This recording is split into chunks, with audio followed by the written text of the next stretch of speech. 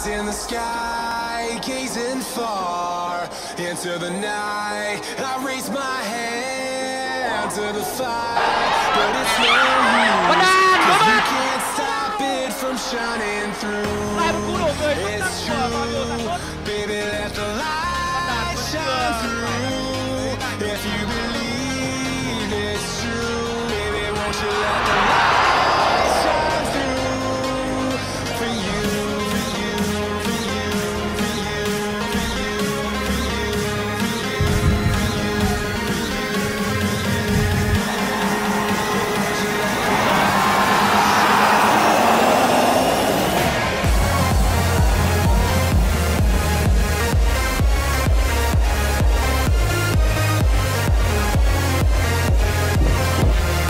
Không gì gì một, hai cầu thủ của Đồng Tháp đã có mặt trong khu 16 m 50 nhưng cú sút cút anh đã bắt được bóng sau cú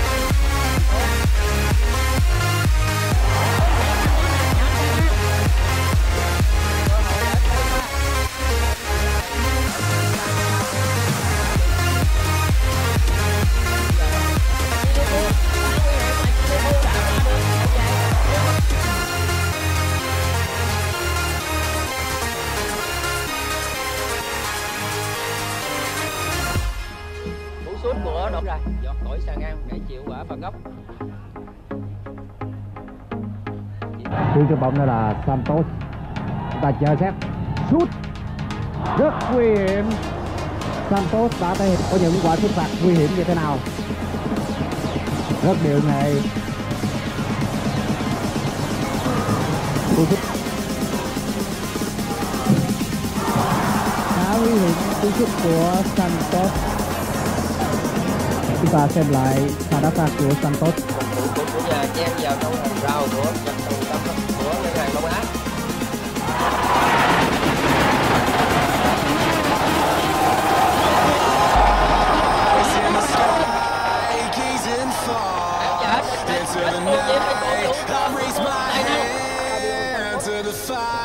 but it's no use, cause you can't stop it from shining through. It's true, baby, Đi sao à?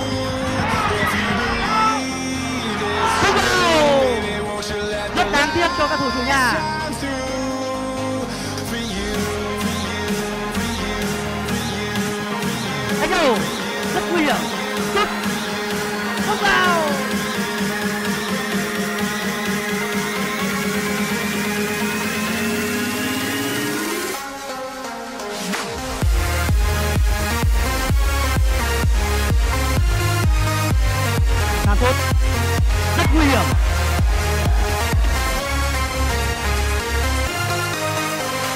Hòa Thành.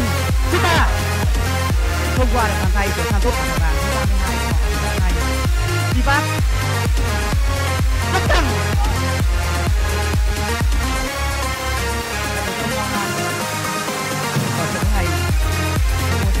Tân Thịnh.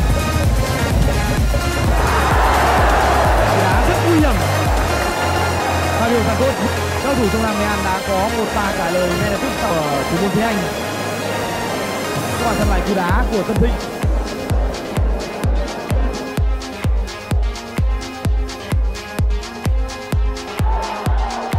Không vào.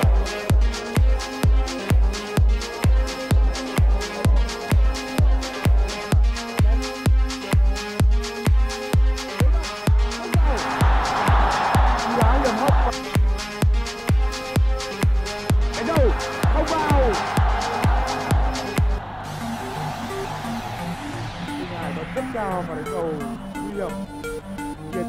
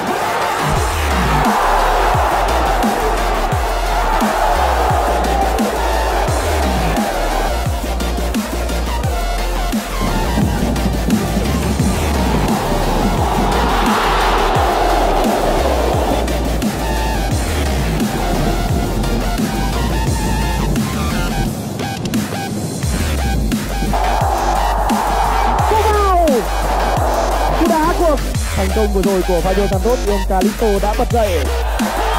Santos chắc cằn wow! Một cú đá quá đẹp và tỷ số được rút ngắn xuống còn 2-4 cho gần đồng tàu Long An. Long An để thua. Một cú đá quá căng và quá hiểm với những cú đá kiểu như thế này thì đối mặt. Không thắng được Santos. Vẫn còn.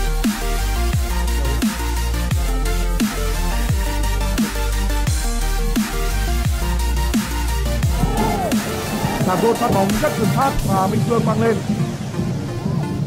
Đưa bóng vào. Cú đá khá nguy hiểm của Santos. Băng vào dứt điểm. Vào! Và đá phạt của Fabio Santos. Và Ronald Martin, một cầu thủ từng chơi cho Hải Phòng, đã băng vào rất đúng lúc, mở tỷ số trận đấu ghi bàn thứ hai của Martin ở mùa giải năm nay. bóng đi rất nguy hiểm và đã được và phát bóng phản công của Cano rất chuẩn xác. Martin, không vào. Tay em. Vào. Cho ngày của Công An một lần nữa chúng ta phải